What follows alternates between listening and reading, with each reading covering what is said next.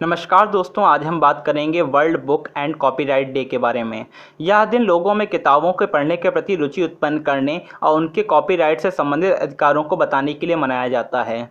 जब हम कोई किताब लिखते हैं तो उससे तो उस पर हमारा कॉपीराइट होता है। यानी कि उस पर हमारा पूरा अधिकार होता है कि हमारी इजाज़त के बिना कोई भी व्यक्ति उसका अनुवाद नहीं कर सकता है और ना ही उसमें किसी प्रकार की छेड़छाड़ कर सकता है। तो इसे इसे ही कॉपीराइट का अधिकार कहा जाता है। तो लोगों में किताबों के पढ़ने के प्रति रुचि उत्पन्न करने तथा उनके कॉपीराइट से संबंधित जागरूक अधिकारों के प्रति जागरूकता फैलाने के लिए यह दिन मनाया जाता है प्रतिवर्ष तेईस अप्रैल को। वर्ल्ड बुक डे पहली बार तेईस अप्रैल सन उन्नीस को मनाया गया था। इसे यूएन के सभी मेंबर देश मनाते हैं। मीगुएल डी सर्वेंटेस नाम के एक प्रसिद्ध लेखक को श्रद्धांजलि देने के लिए स्पेन के विभिन्न किताब बेचने वालों ने 23 अप्रैल सन 1923 को पहली बार विश्व पुस्तक दिवस मनाया था। इसके बाद सन उन्नीस में यूनेस्को ने 23 अप्रैल की तारीख को प्रतिवर्ष विश्व पुस्तक दिवस के रूप में मनाने के लिए निश्चित कर दिया गया।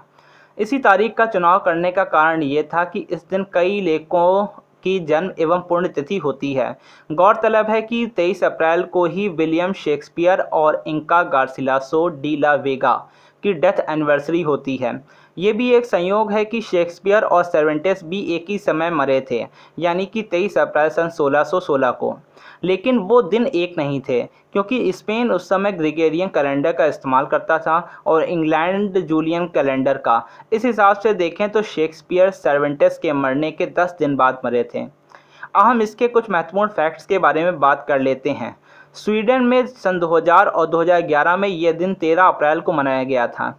यूके आयरलैंड में यह दिन मार्च से, मार्च के पहले थर्सडे को मनाया जाता है और 23 अप्रैल को यूके और आयरलैंड में वर्ल्ड बुक नाइट भी मनाई जाती है, जिसका आयोजन रीडिंग एजेंसी नाम की एक संस्था करती है। यह सौ से अधिक देशों में मनाया जाता है।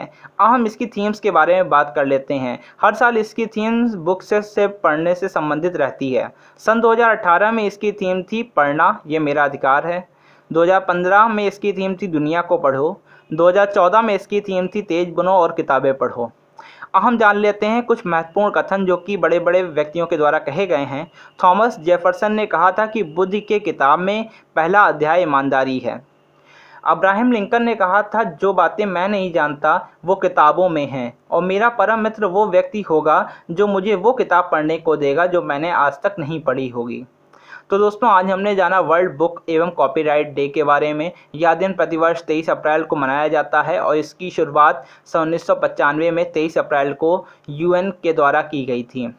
तो आपसे मिलते हैं अगले वीडियो में। हमारे चैनल को लाइक, सब्सक्राइब और शेयर करते रहें और आपके जिन दोस्तों को इस प्रकार की जानकारी की आवश्यकता है, उन्हें से ज़रूर शेयर करें। धन्यवाद।